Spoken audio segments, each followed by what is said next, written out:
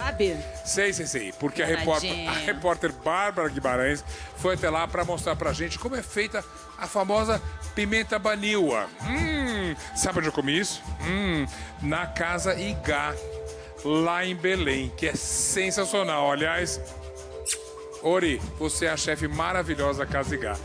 Esse é o ingrediente, essa pimenta baniwa, é trabalhado pelas mulheres do povoado antes de chegar às mãos dos chefes de cozinha do mundo inteiro.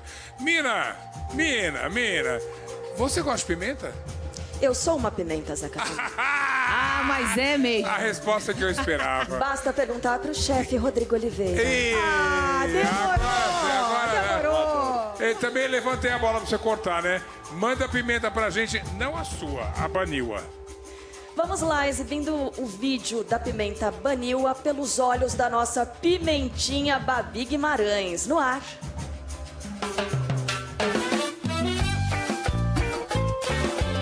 Estamos nas margens do Rio Negro para fazer uma viagem até a comunidade de Amado e conhecer a tão famosa pimenta baniwa, um produto de valor espiritual e gastronômico para todo o povo baniwa da bacia do Içana e que caiu nas graças da alta gastronomia, chegando ao mercado internacional. Vamos nessa? Obrigada, pessoal.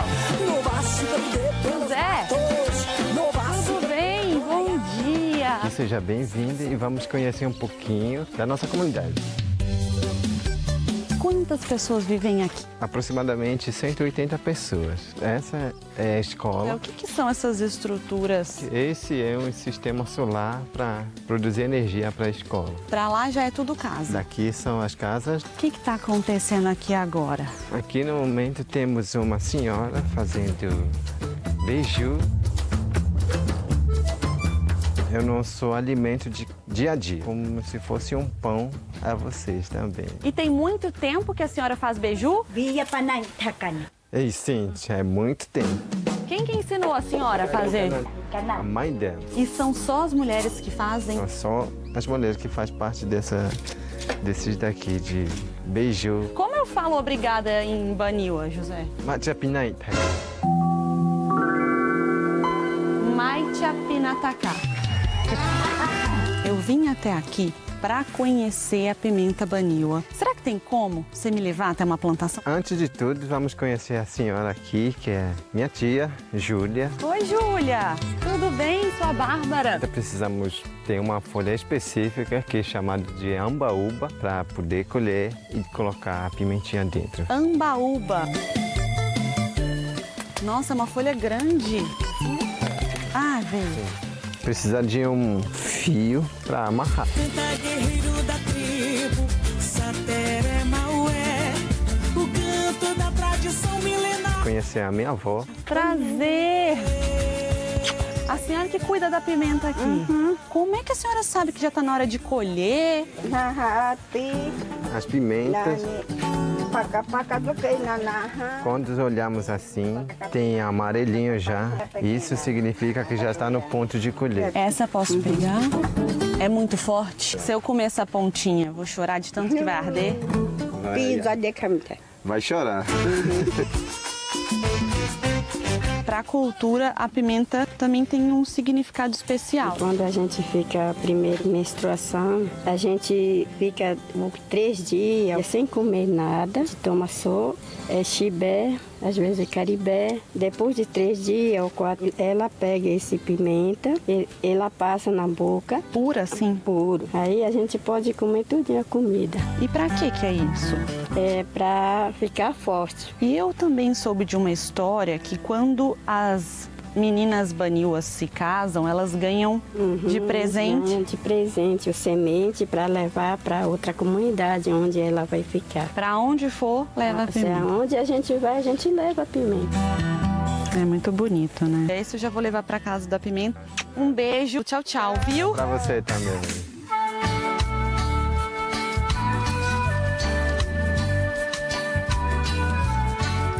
Bárbara, antes de a senhora conhecer Casa de Pimenta, eu vou te mostrar onde a gente planta pimenta na roça. A gente vai entrar aqui, Bárbara. É aqui mesmo, Júlia? Aqui mesmo. Meio fechado aqui, né? Fechado no meio do, da roça. Júlia, me espera. que você já conhece tudo aqui. Eu ainda tô. Assovia e me banha de Ah, é aqui! Júlia, eu imaginei uma coisa totalmente diferente, porque os pezinhos eles ficam espalhados, né? É. É uma espécie bem diferente da que a gente conheceu agora na Dona Anitta. São mais, mais gordinhas. E vale a gente misturar com as que a gente já tinha. Essa espécie também, tudo vai virar pimenta banil. É, tudo. Dessa, que linda! São sempre plantações, produções familiares. Sim. Quem te ensinou, Júlia? É minha mãe. A sua mãe já plantava também? Já. E são sempre as mulheres que plantam e que colhem? Sim. Só as mulheres que cuidam. Tem uma força feminina muito grande aqui, né? Forte, hein? Forte. Adido. Vamos fechar pra gente ir pra casa da pimenta, que agora eu quero entender como as nossas pimentinhas viram a tão famosa pimenta baniwa que tá rodando o mundo inteiro. Oi, casa! Olá! A Bárbara. Você que cuida da casa da pimenta. Sim. Aqui que acontece todo o processo. Então vamos já ver a qualidade da pimenta. A gente vê aqui maduras e tem algumas verdes, né? Tem que tirar esses cabinhos. esses Ah, ele sai aqui. inteirinho. Ele sai. Já tá subindo um cheirinho de pimenta. Irineu, quantas? o cheiro de pimenta. Eu acho que é bom você colocar uma máscara. Pra... Vamos colocar uma máscara para começar esse processo. Depois disso aqui lavado, nós vamos pesar. E aí é nessa etapa aqui que a gente tá pesando que os produtores também recebem o que eles vão Isso, entregar. Isso. No meu caso foi bem pouquinho. É, 16 gramas. É nada. Mas geralmente trazem quanto? 10 quilos, 20 quilos. Essa estufa, ela funciona a gás. Quando é pouco assim, ela passa 24 horas a 36 horas. E quando tem mais, ela passa até 72 horas. Ela tem que ficar assim. Ela tem que ficar assim. Irineu, essa pimenta tem até uma história mitológica. Sim. Para nós, como povo banil, a pimenta, ela é protetor do corpo, da alma. O nosso criador primordial, que a gente chama de Nhapiricuri na nossa língua, quando os inimigos dele queriam matar ele com peixe. E quando ele viu isso, ele falou: Não, espera aí, deixa eu botar aqui pimenta. Ele corta a pimenta ali na comida para cortar o efeito do veneno do peixe. Por isso que eu falei que a pimenta não pode faltar na casa de um banil. Não é só pelo sabor, é uma proteção. É uma proteção. Bota aqui, esse é o processo, tudo manual, Sobe. muito forte. É um cheiro bom, mas é muito intenso. Já temos um resultado melhor? Já dá para peneira. Ah, ela vai sair bem miudinha. Você que faz sempre esse processo? Sempre. Eu e a minha esposa, Júlia, sua esposa. Júlia não tinha me contado isso, Júlia. Aqui a gente já tem a pimenta? já tem, já tem aqui, ó. Vamos pesar ela para ver a quantidade de sal que nós vamos acrescentar dentro da pimenta. Irineu, e aqui a gente tem processado vários tipos de pimenta. Variedade de pimenta. Vários tamanhos, várias Tamanhos, espécies. Várias Virou espécies, virou esse que está aí. E nós vamos para envasamento do pote. Esse pote, ele já está esterilizado. Nós vamos só encher agora. Irineu, em cima das embalagens tem um adesivo com um QR Code. Esse QR Code mostra as produtoras cadastradas na nossa associação, a história delas, até o nome da Júlia também está aí. Júlia tá meio. aqui. Você acha que as mulheres são valorizadas, Ju, nesse processo? Sim. Você gostou quando você veio parar aqui nessa história? Gosto muito. Como é que esse potinho chega em tantos estados brasileiros e até em países como França, Japão, Inglaterra, vai parar em cada restaurante chique? Então, para nós é um motivo de orgulho de dizer a pimenta Baniwa, porque Baniwa é o nome da nossa etnia, que é o nosso grupo. Representa resistência da nossa cultura, da nossa existência como povos indígenas. E isso para mim é que eu fico bastante feliz de poder contribuir um pouco daqui e chegar ao resto do Brasil. Posso tirar minha luva e provar? Pode sim. Tá bom? Pode, tá bom. Se eu comer essa pontinha, vou chorar de tanto que vai arder. Vai chorar.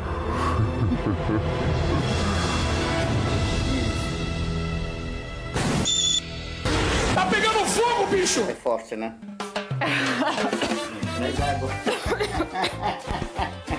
Muito. Parece que eu fogo. Ai, vamos lá fora pra pegar um ar. Irineu de Deus, é forte. Ouvi uma frase que me marcou muito de um líder banil, que ele fala que esses potinhos são como livros. Sim. que viajam para vários lugares e contam a história de vocês e também chamam a atenção para que as pessoas preservem a Amazônia Exatamente. e cuidem desse lugar que é a Exatamente. casa de tantas etnias, inclusive a Baniwa. Eu queria que você me ajudasse a lembrar como se fala obrigado em Baniwa. Matcha. Matcha. Isso. Ju, Matcha. Obrigada por ter dividido parte dos seus conhecimentos comigo. Matcha. Foi um prazer enorme. Irineu, Matcha. Matcha. Que a pimenta viaje ainda mais e encante muita Muitos gente lugares. pelo mundo. Dançando o som do beiradinho, dançando a cumbia beiradinho. Zeca Camargo. Eu quero saber do Cleiton e do Romário se eles são pimenteiros, que são nossos convidados hoje, maravilhosos, que vão tocar pra gente já já. Zeca, eu Cleiton quero e Romário, dizer- vocês são pimenteiros. Eu quero dizer que eu trouxe pra vocês a pimenta pra vocês provarem agora aqui ao vivo. Ó, pior que vocês Pode pegaram ser? dois que amam pimenta. Eu e o Romário, a gente gosta muito de pimenta. Tem várias histórias engraçadas que a gente vai viajando pelo Brasil, vai cantando em várias cidades, né? A gente para, às vezes, num restaurante pra comer. Na maioria das vezes, os espetinhos da vida, né, Romário? Os Isso. bares mais simples. Eles trazem, eles trazem a pimenta. Eles botam a pimenta, a gente, É. o Romário já comprou várias. Aquela que tá na mesa, pô, me vende essa pimenta. Mas aqui pô, tem que ser a aquela gente que eu gosta. experimentei. Aquela ali, né? Porque é, senão aquela, não é- vale lá de dentro, É, tem que ser não. essa. Peraí, mas vocês são. Vocês são tem- tem um o- sabor o- diferente. No teu RG, você é de onde? No RG? Eu sou goiano. E? Rondônia, Porto Velho. De Rondônia. Sou mineiro. Você é carioca. Mas a Carioca- gente carioca mora- não gosta de pimenta. Eu carioca não gosto de pimenta. É frouxa. A Eu gente sou mora frouxa. em Minas hoje, né? A gente Aliás, mora em eu Belo sou bem Horizonte. frouxa. Onde vocês moram? Eu não gosto de pimenta. Belo Horizonte. É, Você esperava lá na já minha tem terra. muitos anos já de Minas. Eu fiquei, com dó, eu fiquei com dó dela ali porque ela pegou a pimenta e colocou na pontinha da língua. Romário sabe a É o pior técnica. lugar, né? É o pior no caso, justamente. Porque tem hora que você erra, que você coloca um pouco a mais de pimenta no prato, então quem já tem né, expertise ali, coloca a comida Eu um pouco mais lá sei no como é. fundo. Não, ela que botou bem menos. aqui, ó. É. Olha lá, Eu onde a sei gente tá como vendo a é. imagem agora.